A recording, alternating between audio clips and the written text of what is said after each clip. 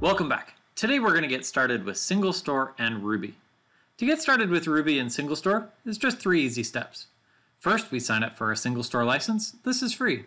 Second, we spin up a cluster. We can choose to do this in a managed service, in virtual machines, or in containers. And third, let's run our application. Let's dive in.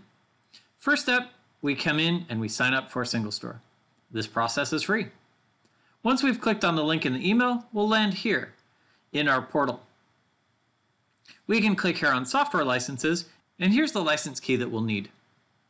We'll copy this license key, and in this case, I'm going to use Docker to get started. Pull up the Docker Compose file, and we just need to set the license key in the terminal to be able to use it correctly. That's great. So I've done a Docker Compose up, and we now have our cluster running. As part of spinning up the cluster, it's also going to run init.sql. Init.sql is that mechanism for getting all of the schema that we need in place. So if I come here to localhost 8080, we'll be able to log into our cluster. The username is root. The password is the password I set in the Docker Compose file.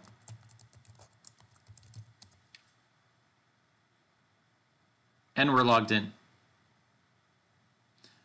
Here we see stats about our cluster, total memory usage, disk usage. We can see our cluster is healthy. Switching over to the SQL editor, let's select the database that was created and we'll run it and we can see we've got that database ready to go. Perfect. Step one is done. Step two is done. Now let's dig into our application. We have here this application, and looking at our gem file, we see that we're just using the standard MySQL 2 gem. Coming into our app, we can take a look at this and see how it works. Let's fire it up and see what it does.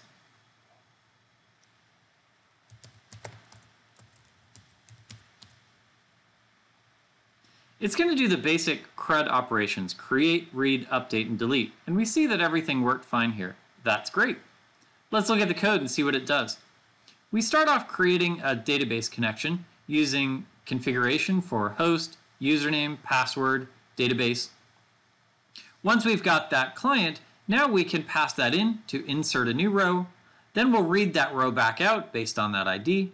We'll document that row, and then we'll update the row to change the value.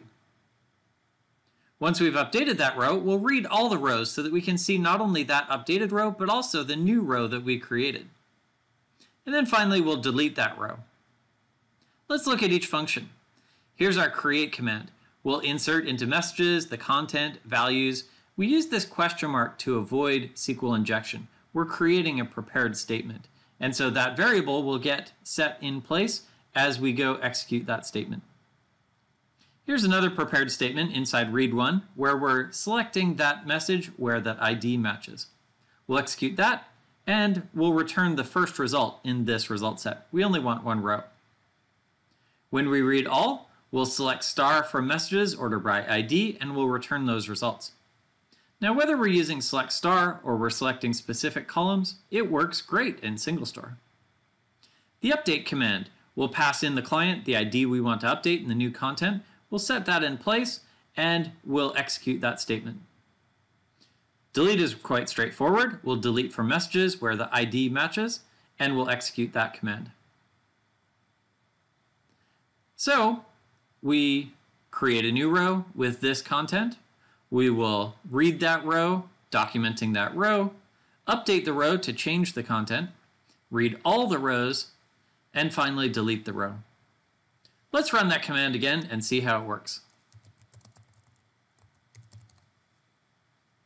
We inserted row 3, and as we read it back out, we can see the ID, the content, and the created date.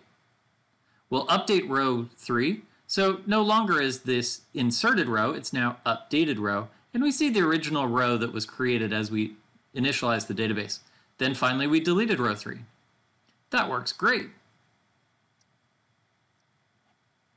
Grab this repository in the link below and get started with SingleStore today. Thanks for watching.